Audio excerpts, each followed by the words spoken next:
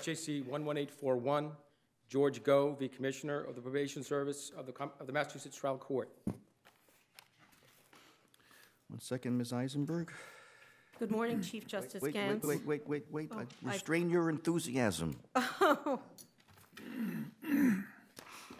Now, release your enthusiasm. Good morning, Chief Justice Gants and Honorable Justices Beth Eisenberg and Lily Lockhart uh, for the probationer.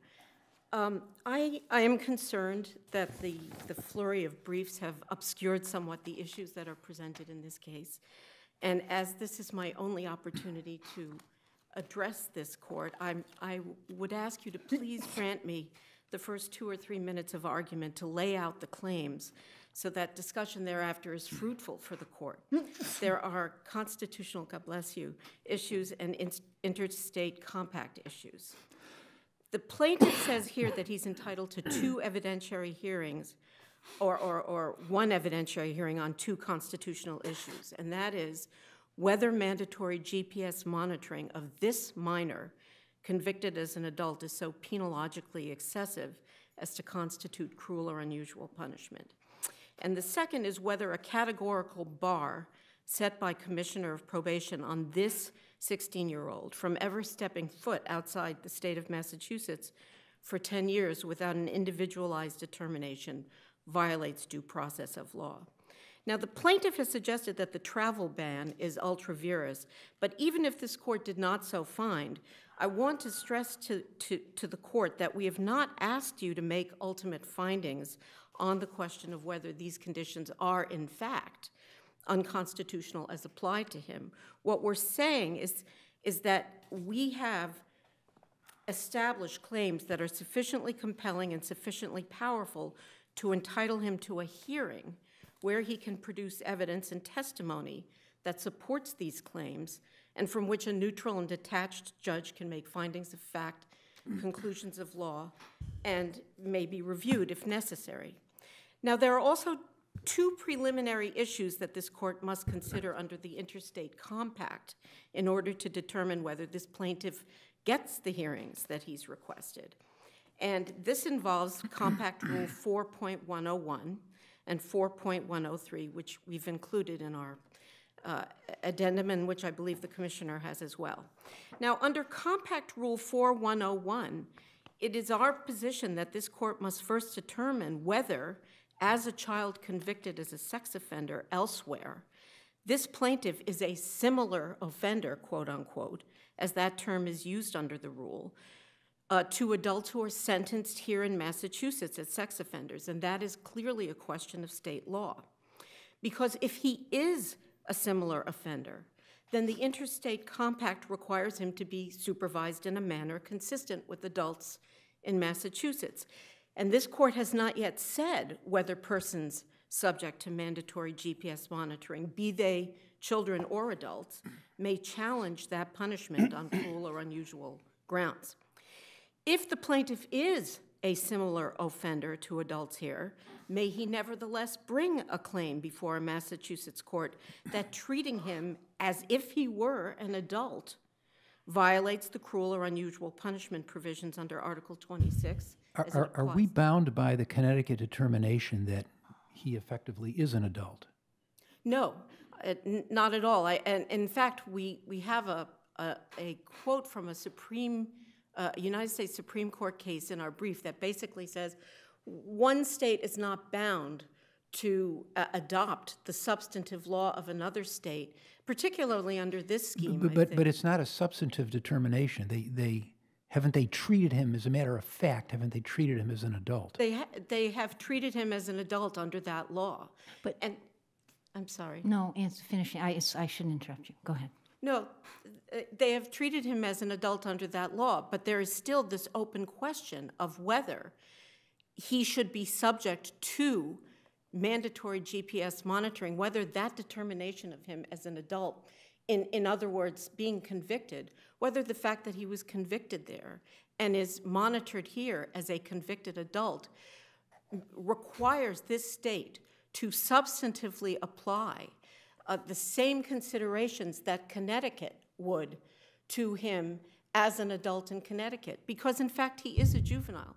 We've seen in cases here in Massachusetts, Diatchenko is a, is a, a good example of a case where children, though convicted uh, as adults, are viewed differently under our own So, constitutional so scheme. on that point, if I look at rules 10, 4.101 and 4.103, and I'm Yes. thinking about 103A in particular,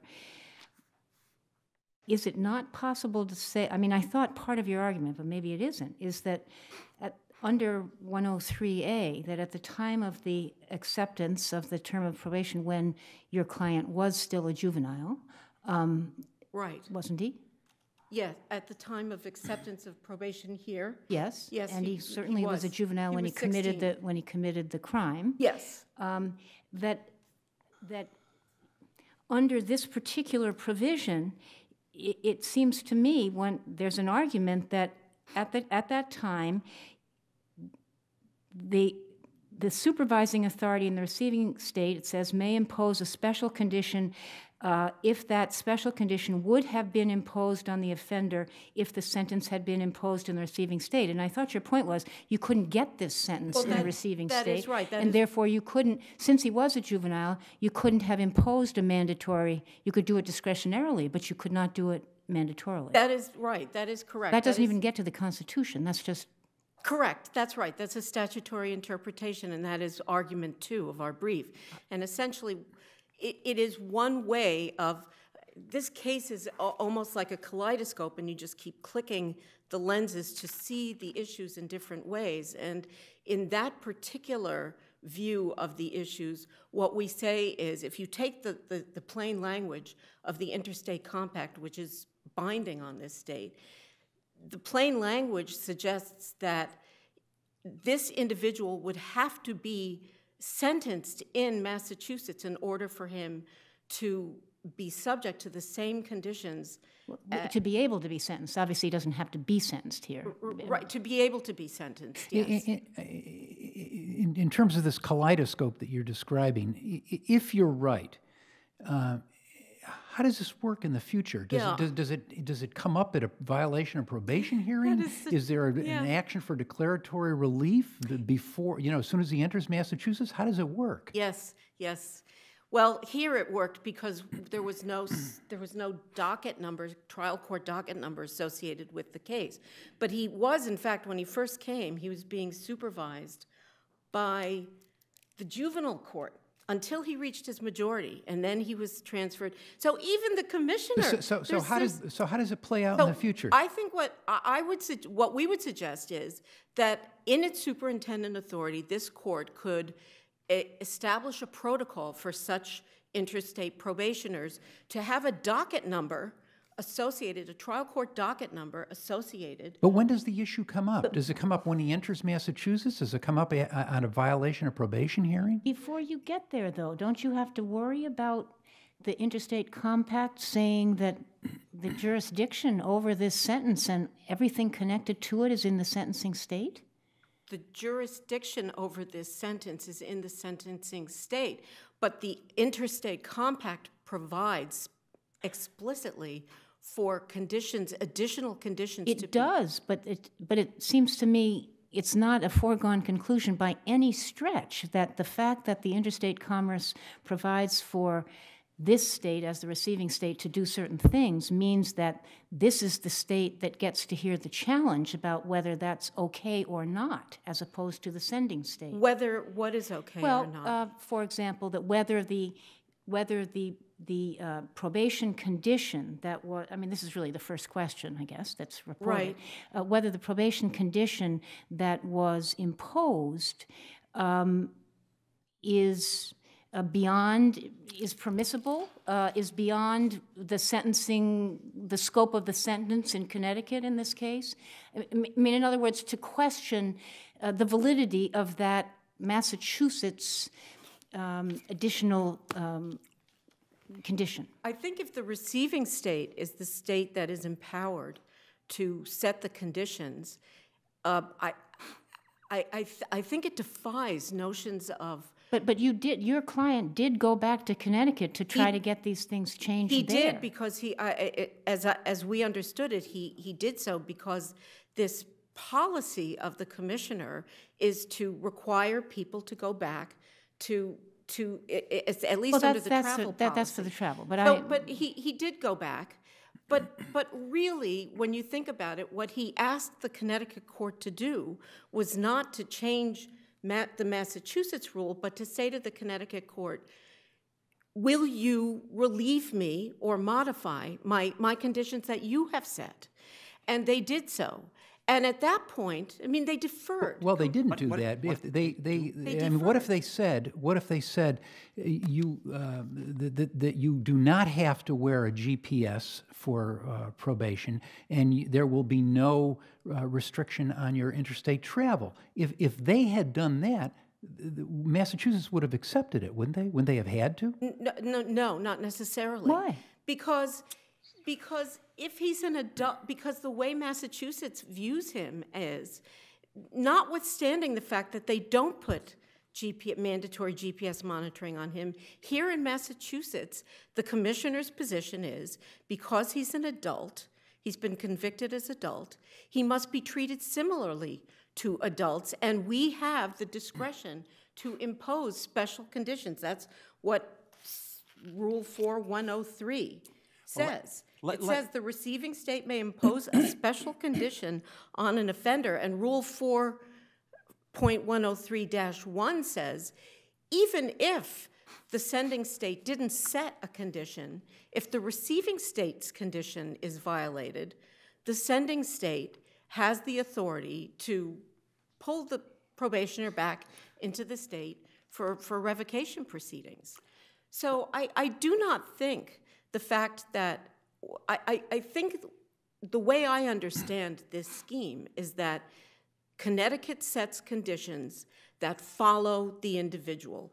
If Massachusetts tells Connecticut, we can't enforce this condition, and it's it- not a mandatory transfer as it was here, Connecticut can either remove the condition or, or deny that probationer the right to transfer. So let me, let, us go back to it, something simple, because this, this really is quite confusing. Let's assume Connecticut had set GPS as a condition of probation. Mm-hmm. Juvenile convicted as an adult under Connecticut law, the court had said GPS for the 10 years of your probation. He had then been trans, he then transferred his probation to Massachusetts. Problem? Massachusetts would have had to enforce that. Right. Okay, so that's not a problem. Well, So, and it's, here. it's not mandatory. It, it's not mandatory insofar as he may be able to go back to Connecticut and say, I, I, I want to be heard on this again. The problem arises in this particular case where Connecticut has no such mandate, Massachusetts has a mandate, and the question is, should that mandate be applicable to a, a- juvenile who is treated as an adult in another state? So remind me, the original sentence in Connecticut included GPS, we'll call it electronic monitoring, in the discretion of the probation department. That's right? correct. And did that get changed at some point? Yes, it did. And got changed to what? It got changed uh, in April of 2014 um, by the sentencing court to, um, in the discretion of the juvenile exactly, it probation was, it officer was here. deferred to Met. The question of GPS monitoring at all was deferred to the authority of Massachusetts. So if you get, Deferred to the authority? Yes, to the, to, to the probation Where, department. where do you see that in the record? It's a Where, 101. where? Where in the record is that? Could you read us exactly the language? Yes, yes, I will. Because there seems to be a dispute. Yes, there is. there are two, there are two. Yes, There's there is. GPS monitoring would be at the discretion of mass probation, but then March 3rd of 15, it says do GPS there.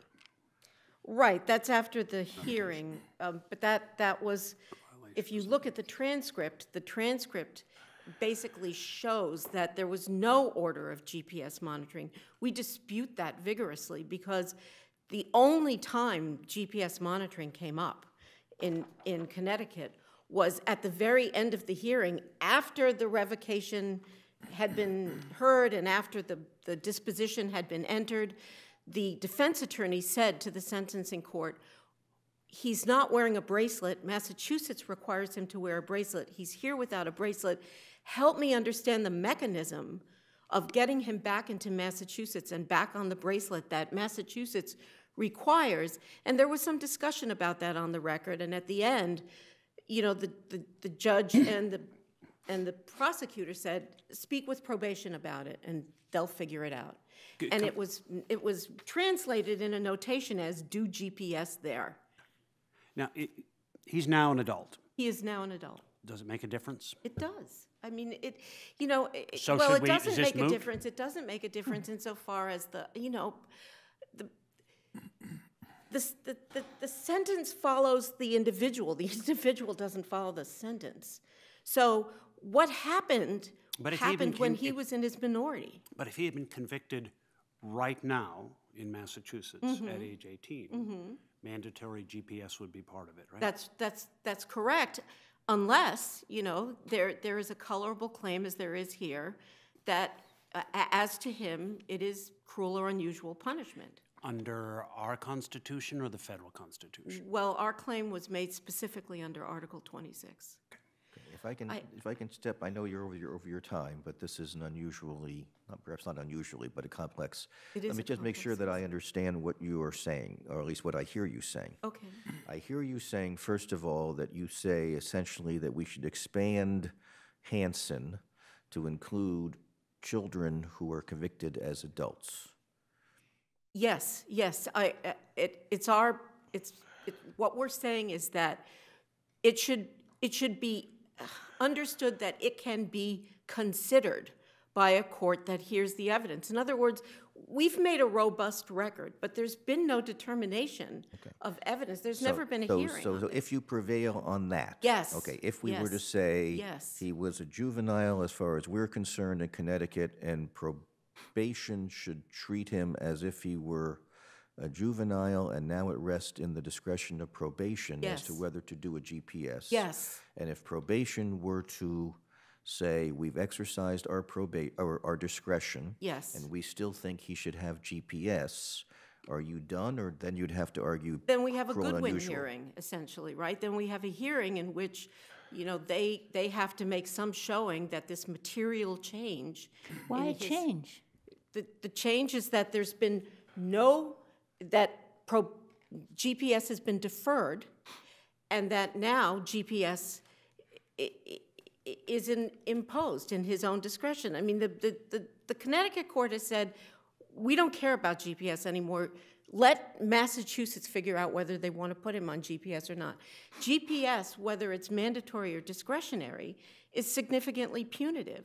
And so it seems that if the com- commissioner wants to put GPS monitoring Well, on him, You, you don't read his letter to you as sort of being an an individualized determination that he thought your client should be on a GPS? the, there was, his, his initial letter was based on information that had not been tested by an independent court. And so in our view, it was unilateral, and in our view, that it, it was um, a determination that was made without the benefit of being able to um, test that evidence, um, uh, contest that evidence, and, and be able to show a, a magistrate or, an, or a judge why, in fact, that should not be the case. But if your client were still in Connecticut, it would be probation's determination as would to be. whether. It Shouldn't would it be the same here?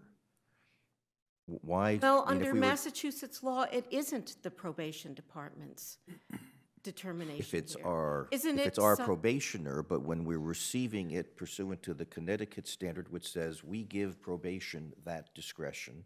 Right. And the court there says that's up to probation. Right. Are we not bound by what Connecticut has done to let probation render that determination? It's, it's up to the receiving state. The, the court did say it, I, we defer to probation, but our position is that in Massachusetts, these kinds of conditions that carry excessive penalties and are, are stringent to a degree that's unusual, it, it should not be in the uh, unilateral authority of the probation commissioner, but there should be an opportunity to be able to test that somehow if the probationer believes that as to him, it poses an unconstitutional penological burden on him. That's our position. Okay, thank you. Okay, thank you.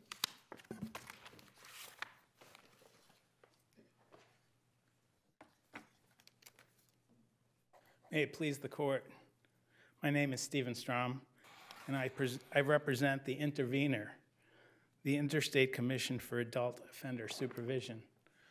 With the permission of the court, I'd like to take five minutes of the respondent's time and leave the balance of the time to Attorney Joss for the Commissioner of Probation.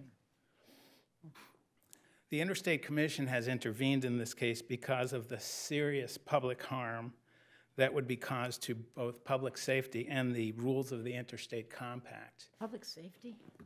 Yes, Your Honor, because there are 235,000 individuals on parole and probation across the country, in and out of different states. And if this court were to allow a challenge to the sentence and conviction and conditions of the sending state in the receiving state, then the uniformity that is the compact amongst the That's states. not what Ms. Eisenberg's arguing for.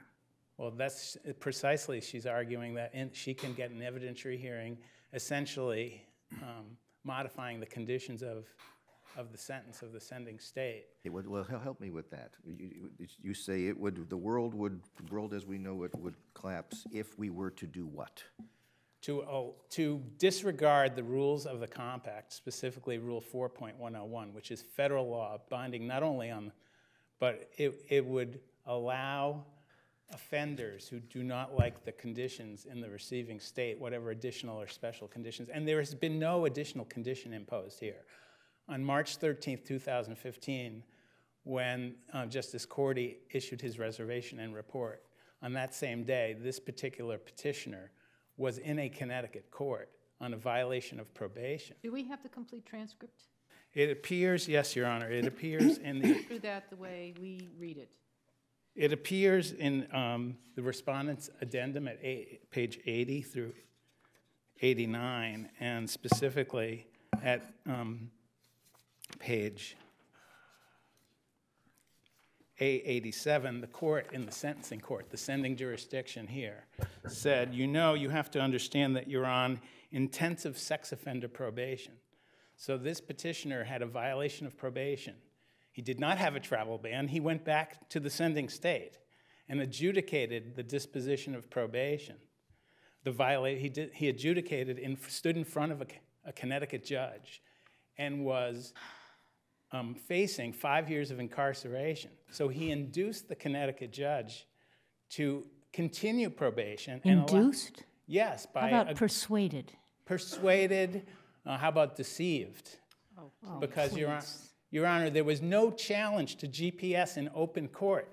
The- There was no notification to the Connecticut judge that this petition was pending at the time. The Connecticut court ordered intensive sup- sex offender probation. There was questions about the GPS. The only question was, how do we get it put back on? There was no ch- claim that this Want is him an to be illegal picked up sentence. for another violation. That's what that was about. Your Honor, there are numerous places where this petitioner can get an evidentiary hearing, none of which are in the jurisdiction here. He can move to modify the condition of probation. He could claim it's, file a motion that it's an illegal sentence. He can file numerous post-conviction remedies in the sending state. So are you saying that we're supposed to listen to some uh, construction of the interstate compact that is by the federal courts? Uh, Yes, Your Honor. The, the, and- the and- rules, And which, which case do you say um, is controlling here? well, the Cuyler versus Adams uh, is a United States Supreme Court case that says that the interstate compact is federal law. Well, that's fine, but what's the case that says that, that? Well, Justice two said? of the cases that were cited in the re- reservation and report, for example, um, on page four of the reservation and report, State v. Warner, the Iowa case, under that, under that case, it says the receiving state has the right to supervise the That- That's a state case, right? It is, it's from, um, We're supposed to listen to an Iowa case? these are all under, under um, federal law, because you interpret the interstate compact under federal Can, can law. I, But, can- it's okay, good. Uh, The Goings case is the only case that was adjudicated in the receiving state. And in that case, it was an injunction or declaratory action in the receiving state. And the only condition that was removed, in that case, Florida had no sex offender registration, Florida had no um, GPS. And those conditions were continued in the receiving state. The only condition that was removed was a condition. Now, the interstate Can I, can I ask, you, before you go any further, let me, l- let me try to understand a, a couple of basic things here. Um, Conditions of probation imposed in Connecticut, they have to be enforced in the receiving state unless the receiving state says, no can do, has to go back to Connecticut, right? Correct, Your Honor. That's interstate commerce, uh, the interstate. compact. Yes, Your Honor. got- Receiving state, in addition, can impose additional conditions. Yes, Your Honor. They're, they're imposed by the receiving state, not the sending state. So Correct. doesn't the individual have an opportunity to challenge those additional conditions in the receiving state that are imposed by the receiving state? Uh, I'm not aware, I'm not aware of anything in the compact that would prohibit this petitioner from bringing, for example, a 1983 action in the district court in Massachusetts. However, the, the, the Supreme Court case of Heck versus Humphrey, this appears to be a wholesale attack on the Connecticut conviction, claiming that the conviction as an adult with the combination of GPS is cruel and unusual punishment. Well, if, if, if, uh, if the Connecticut court had said no GPS and no ban on interstate travel, he comes to Massachusetts, could Massachusetts impose uh, GPS on him? Under the compact, yes, Your Honor. And so he, if he were to challenge that, let's, let's put aside the larger challenge, just if he were to challenge that, um, could he do it here under the, and still be, and still do so consistent with the interstate compact? Well, he, he is doing it here. Well, I, as, isn't, but, I'm, I know, but isn't that court- okay? If this court were, say, today, to issue an injunction right from the bench and say, remove the GPS, then that would be communicated through the ICOT system, the Interstate Compact Offender Tracking System, back to Connecticut. Connecticut could decide, should we, we leave this probationer in Massachusetts, or can we retake, or should we retake him? sounds fair. That, that's how it would work. Same thing on the initial, on the initial um, application in, in 2013. If this, if the Connecticut court said mandatory GPS, but your section 47 was the exact opposite and said no probationer in Connecticut can be supervised, Massachusetts would report back, as Your Honor indicated, we can't supervise them as required by the sending state, so we can't accept the case. They wouldn't have accepted the case at, at the outset. A- And if Connecticut says we're going to leave the issue of GPS up to probation, and if probation decides not to do it, there's no violation of the compact, is there? Uh, under the compact, no. Strictly under the compact, no. It's up to the determination of the. That's like the um, Hanson H case, where this court said an individual juvenile judge in an individual case could determine that GPS is appropriate for a juvenile. So that's Okay, exactly so, so if, that's what this case is. so I mean, I know you, you began with this statement that we are right now, the whole interstate compact now lurks in the balance, It- but, it- but I, I don't, if, if the Connecticut, if the Connecticut court says, I'm gonna leave it up to Massachusetts probation to decide whether to impose GPS, then how is, M- how, how is Connecticut being dishonored if they exercise that discretion? Because right now, Connecticut has said, after the violation of probation, intensive sex offender And probation. that depends on your interpretation of that transcript. But A- the- And how do we, let's assume that we can't necessarily be sure. What then do we do to ascertain what the Then Connecticut judge That's would exactly do? right. There's an operation, not in the courts, but through the interstate compact offices and the compact administrators from Massachusetts to, back to Connecticut for um, a a request to clarify the sentence. Do you, It's a do you think that the, the, the probation violation hearing in 15 supersedes the ruling in the, the order in 14 that GPS monitoring is left in the discretion of the state of Massachusetts probation per Yes, it was an juvenile? increase in supervision in 2015 after the violation. As to Didn't mention GPS? GPS, did it? Oh, it, it, it mentioned intensive sex offender probation. I don't know what that means. That, well, that's what, let's assume no one here knows what it means. The remedy is under the compact. Wasn't it what he was already under? No, he was, he was under um, the modification of, of April 2014, He which wasn't left- under intensive sex offender registration. Intensive is the highest level of sex offender So you're monitoring saying and that as a supervision. condition of continuing probation, the Connecticut court increased? That's my understanding, Your Honor. From, from reading that transcript, that's what you get? That's my understanding, yes. You get that from that transcript, not from any place else? It's, it's, it's based on, he was represented at the time by competent and experienced counsel. He had a I'm parents asking you and if that's the only source you have The only, for, is, for is- your conclusion is that it- there was an additional level of supervision imposed at that hearing. Is that the only it's my, under- basis?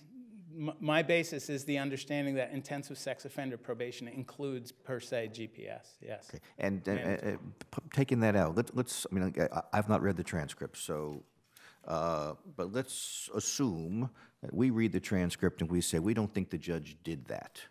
And we say, we think Massachusetts still has the discretion with regard to GPS. Uh, But if the Connecticut judge thinks differently, the Connecticut judge should so order, and then Massachusetts will do what the Connecticut judge wishes. Does the compact survive that? Yeah, the compact would say that um, the the petitioner has no private right of action to challenge under Rule 4.101 whether he's similarly situated or not. That's a right of the receiving state to determine how he should be supervised.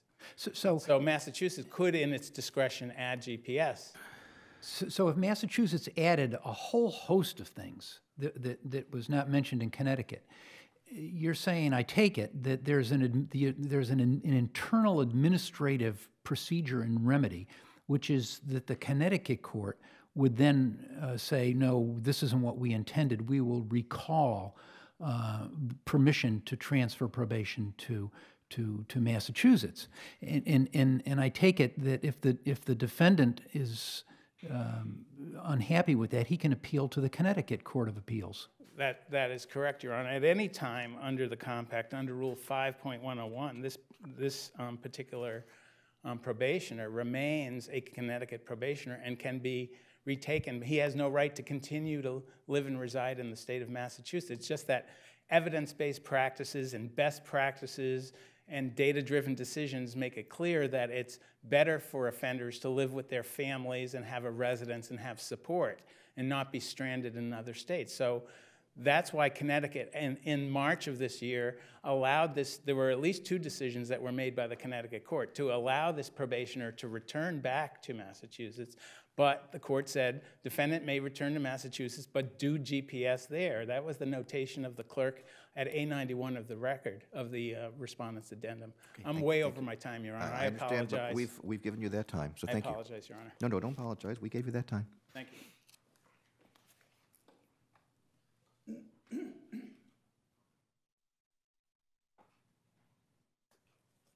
Ms. Joss, before you get warmed up, Yes, Your Honor.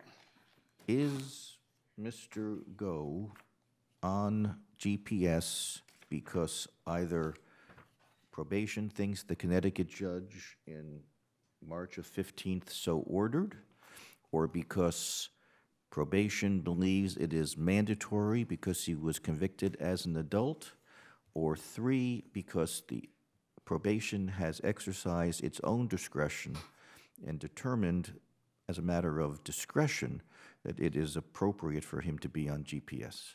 I think the answer is actually that it's more the first two, that Massachusetts is really only doing what it is that Connecticut ordered. The But, but is it one or two? Because they're, they're a bit different. Well, initially, I quite different, believe. actually. Certainly. So one, and I take it one was, the original condition said probation, and two is No, the no, the one was order. said that the March 15th hearing. Oh, the- I'm sorry, the then I have GPS there is now an order of the court that the court mandates, that, that, that- that, that the court in Connecticut is mandating probation. Alternative two is that you think the, that the statute in Massachusetts mandates it because he was convicted as an adult. They're quite different. Uh, Let me start with one then. It certainly is one, and it would have been uh, sort of fitting into one even before the violation, that Massachusetts is only doing, is interpreting and applying the Connecticut order. That Connecticut, in, his, in the initial conditions that Mr. Goe transferred to Massachusetts with, there was a condition that said you will submit to electronic monitoring as directed by a probation officer. But, then. but didn't, uh, I- yes, but just, if he'd stayed in Connecticut, the probation officer could have said, no, I'm not doing it in this case, It- right? That's entirely possible. He did not. He, he moved here precisely, he moved here. Right, but I mean, but, but in other words, that's not a command to do it. That, that's saying, it's up to you, Mr. Probation Officer or Ms. Probation Officer, to figure out whether or not uh, he's going to have the GPS. I think that's right, Your Honor, but I think there's also, you know, what happens is that he comes here, there's a discussion with probation here. He then goes back to Connecticut and says, either modify or remove. And the court denies the removal, meaning that there is, at that point, Because it's in the no- discretion of the uh, leaves it in the Massachusetts of probation. probation. And with, at that point, that's where I think, why I was saying that you sort of get into both the first and second of Chief Justice Gants's points, is that when you come here, there is Section 47 in place, that there is an adult conviction. But then I think you also have, in March of 2015, an order that says, as part of the documents that come back to Massachusetts through the ICOTS system that was referenced by uh, counsel for the commission, is something that says, do, you know, go back to Massachusetts, do GPS there. And you Fundamentally, construe that as an order from Connecticut, as it- opposed to just a practical resolution of the fact that the man didn't have, he wasn't wearing it at the time of the hearing, and he didn't want to be picked up for another violation, which if you read the transcript, seems to be the sense of it. Actually, Your Honor, I, I interpret it differently, and I think that that's, that's part of the problem, is that what Mr. Goe is fundamentally claiming is that Massachusetts is misinterpreting the orders of Connecticut. If that's the case, then his remedy lies with Connecticut. If he believes that Massachusetts is misinterpreting or misapplying the orders of the sending state, he can certainly go to the sending state and ask that state to clarify, as he's shown himself capable of doing. He can go back and ask that court, and eh, frankly, he could even ask for the evidentiary hearing that he now asks this court for, to be able to put in front of the Connecticut court all of the evidence that he says means that this is an inappropriate measure for him, and that could develop a full record in that court, which is the sending court. You're basically saying you think Connecticut requires GPS to be imposed in Massachusetts. At this point, I take this, the conditions, probation takes the conditions imposed by Connecticut to include GPS without discretion. And you base that on the transcript of that hearing? That uh, Massachusetts And understanding as construed by uh, this gentleman's agency? As constr- uh, the understanding is that intensive sec- sex offender probation in Massachusetts, in, sorry, in Connecticut, is understood to include GPS. And if, if Massachusetts is wrong about that, then Mr. Goe's remedy lies with Connecticut. It, it's fundamentally a question for the Connecticut court to interpret its own orders. That if Massachusetts is wrong, then that's a question for Connecticut. But let's assume he order. goes, let's assume he goes back to Connecticut and the judge says, oh, I didn't mean that. Uh, I think it's still in the discretion of the Massachusetts probation. Then does Massachusetts probation say we're going to exercise our discretion? Or does it say we think it's mandated by statute? I think at this point, where Mr. Goe is now 18, that the, the, he would still have to be, that to the extent that Massachusetts had discretion to exercise, it would be that because he is an adult, there is a legislative determination that with an adult conviction comes GPS, that it would exercise its discretion to say, we understand it to be mandatory, and therefore we apply it. Okay, and, and has Massachusetts or has probation yet exercised its own discretion apart from the statutory mandate? I think you see that in the letter that was sent from the commissioner to Mr. Goe's counsel prior to the filing of the single justice petition. And I would note that it's somewhat interesting that despite the fact that all of the single justice briefing was done before the violation in Connecticut, there was no mention of that fact. There was no attempt during the violation to say, you know, Your Honor, there is also this outstanding issue that there is, you know, Mr. Goe has briefed in Massachusetts um, and understand his understanding that as applied to him, the GPS is unconstitutional. He simply could have raised those with the Connecticut court. In fact, can still do so. That there's nothing barring him, as, as shown by the motion to modify, as shown by the cases, the Connecticut cases cited interpreting what happens when you have a motion to modify that's denied or granted. If it's denied, there's a right to appeal on that. Mr. Goe has a variety of procedural options available to him in Connecticut to go and establish the record that he seeks here. What he said at the beginning was that he is fundamentally seeking an evidentiary hearing. He has that remedy available to him. It simply is not here. If there's a violation, if the Massachusetts Probation Department uh, determines that he has violated his probation, is there a violation of probation hearing in Massachusetts, or does it take place in Connecticut? Only in Connecticut, Your Honor. So, so is, are, are, you- 4.103. are you saying that, that, uh, that the Massachusetts Department of Probation is essentially, under the compact, an agent of the state of Connecticut, and Massachusetts courts have absolutely no business getting involved? That's correct, Your Honor, and that's, that's frankly throughout our brief. And the, the explicit receiving state acting as the agent of the sending state is actually laid out in the ICAOS bench book and excerpted in the addendum attached to probation's brief. And in fact, that's the import of the rules, that if there is a violation of probation, whether it's of a sending state condition or a receiving state condition, the only jurisdiction over that is in the sending state. Even if that condition was absent from the sending state's original conditions, that any violation of a condition imposed in the receiving state, even if fully absent from the sending state, must be adjudicated in the sending state. And that's 4103. True, and uh, I was actually looking at the transcript of this revocation hearing, which is short and not terribly revealing.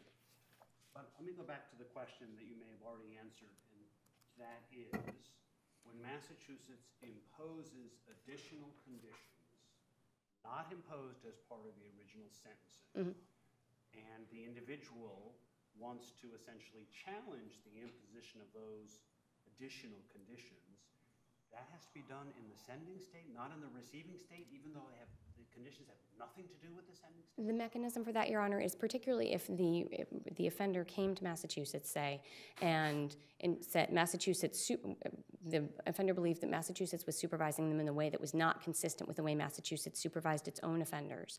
It would then, the offender would then make a complaint to the sending state. The sending state would then raise that with the commission, and the commission could take enforcement action. Hopefully, there would be some sort of dispute resolution first, but then could take enforcement action against Massachusetts if Massachusetts were wouldn't the- supervising the offender the- in a way inconsistent with the way it supervised its own offenders. Well, I'm not saying inconsistent, just additional. Oh, I. Uh, well, And I think that that's actually, the, the, the sort of flip of that is there's a, I think, I'm not quite sure how to pronounce it, but I think it's Krikevitz, um, which is a Delaware case where the offender there was actually a Delaware resident who had been convicted of OUI in New Jersey, which had transdermal alcohol monitoring as a mandatory requirement. And he wanted to be supervised in Delaware, and Delaware had no ability to implement that condition. And so what happened is he wanted to challenge the condition, and they said, well, you can't challenge that in the receiving state. You need to challenge that in the sending state. That's an issue of the receiving state can't do it, mm-hmm. therefore, you've got to go back to the sending state. Right. But wouldn't the, This is different, I, I just, this is, it seems to me different. I think that when you look at the rules, the rules make very clear that the jurisdiction over the offender is retained at all points throughout I in the sending I state. I, I understand that hypothetically. All I'm saying is if he's here and Massachusetts imposes additional Mm-hmm. conditions, not inconsistent, but in addition to, his remedy to challenge that is to go back to the sending state. It- I be- Even if the imposition of those additional conditions might raise a constitutional question because he's a juvenile. I think that's right, Your Honor, that ultimately the jurisdiction over that person resides in the sending state. And if the argument is that it's an unconstitutional condition, then that can still be raised but in would the the, would state. the, yeah, they're going to interpret our Constitution? Well, I- I'm, I'm, think I'm looking more at a federal constitutional question, that that would be the same regardless. But that it, basically, the option for the offender at that point would be to say, I'm being subjected to an unconstitutional condition, and then, then the receiving state can then change its conditions to either exclude that condition or to retake the offender. And because as five, uh, Rule 5.101 of the ICAOS rule says, the, the ability to retake the offender remains with the sending state throughout, regardless of any cause, that they can be retaken at any time. So can we just, just look, sum that up for a second? You're saying that if his argument is that it's unconstitutional under Massachusetts, under the Massachusetts Constitution, his remedy is to somehow have um, Connecticut decide? Massachusetts law, no, Your Honor, I don't think that would be right. You- You're essentially saying that, I think, that the compact is federal law and it preempts all forms of Massachusetts law, I think that in including the Massachusetts Constitution. I think in signing on to the compact, what the legislature did was say, we are ceding some of our sovereignty to allow for the ability of probationers to transfer and parolees to transfer from state to state, and that to the extent that there are questions that arise that impact compact offenders, those need to be addressed through the mechanism of the rules. And there, there, there are still mechanisms under the rules to enable an offender to do that. Well, that might be nice for the state to do that, but what if you're the offender? Uh, Again, the offender has the option to raise But, with. but, but, okay, so the offender goes back to Connecticut and says, under the Massachusetts Constitution, this is unconstitutional. Let, let's assume that the offender hasn't turned into an adult. Okay, so, so he's, he's age 17. And he goes back to Connecticut and says, they're imposing this on me as a mandatory thing. Uh, that's unconstitutional under Article 26. What is the Connecticut court supposed to do? Well, I think that in that circumstance, that where he's saying that it's unconstitutional, that the remedy he has is to, he's, he was, if he's arguing that it's unconstitutional because it's cruel or unusual, that seems to me that it comes up in sort of two different ways, obviously the federal way or the state way. And he can address the federal way with the Connecticut court. The Connecticut court may, it may not even have to get to the state constitutional question because it does arise under both. Connecticut could say, we agree, it's cruel, it's unusual. We're going to say, no, you may not be subject to GPS. At that point, then the person, the offender could ask to be re- reassigned to Massachusetts, retransferred to Massachusetts. And Massachusetts could say that, you know, obviously, we have this mandatory this, if, if, I'm sorry, if the person was a juvenile at that point under your hypothetical, that we now have the person who's a juvenile, that court has exercised its discretion, and so we would not apply if that person was a juvenile. But I, and I think that fundamentally what Mr. Goe asks for is an evidentiary hearing. He has the ability to obtain that in Connecticut.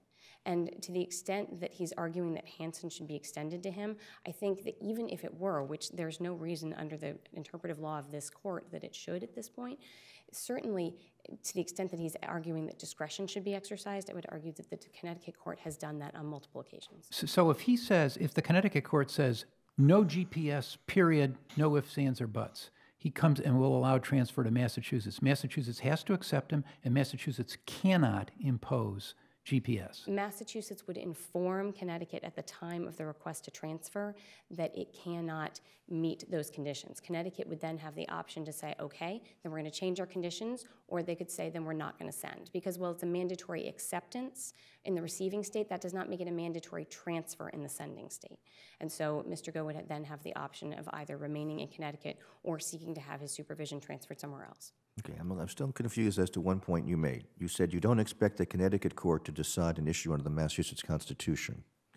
But if the claim is that it's a violation of the federal Constitution and the Massachusetts Constitution, and Massachusetts says, and Connecticut says, no, we don't think it's a violation of the US Constitution, then what happens?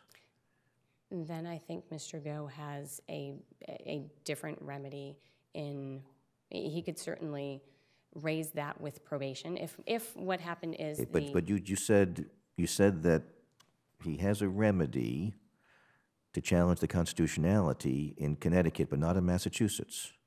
the- Certainly the federal constitutionality. I think when we're talking about the state constitutionality, if, if Connecticut That- says. That's the question. Where is his remedy to challenge the state, cons- the cons- the state constitutionality?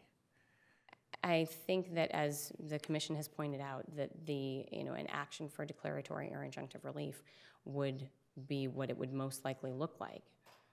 But where, where is, the Is it state court, yeah, right? wh- wh- where is that remedy? And that it's certain, it's not, it's certainly not in, it, it certainly wouldn't start as an original jurisdiction action here. It wouldn't be a question of superintendence of inferior courts. That Mr. Goe, because he has, he has a number of other options to pursue before he gets to that point, that it seems like it's premature to even Okay, but you're, but you're, but you, but you're dancing Yeah. here. Uh, Where does he go to challenge the constitutionality of a condition as cruel and unusual under Massachusetts law? Where does he go to challenge it? I, yes, under Massachusetts as opposed to the federal constitution. I think that's a question that would start in the Massachusetts trial court. So we do have the ability, Massachusetts court does have the ability to decide that issue. Eh, I think that because he is being supervised in Massachusetts, that there is some ability to do that, but I think that before he gets to that point, because his the ability to actually modify those conditions resides with Connecticut, that we don't even need to get to that because he has a variety of other options before he even So you'd say he'd have to exhaust other alternatives? Right, But if push court- came to shove, he still could make a declaratory judgment action here? Right. And as this court has repeatedly held, that if there are ways to avoid addressing the constitutional question, that that is what ought to be done. There are a variety of ways for Mr. Goe to avoid raising the constitutional question here by simply going back to Connecticut and asking it to clarify its order. Okay, thank you. Thank you, Your Honors.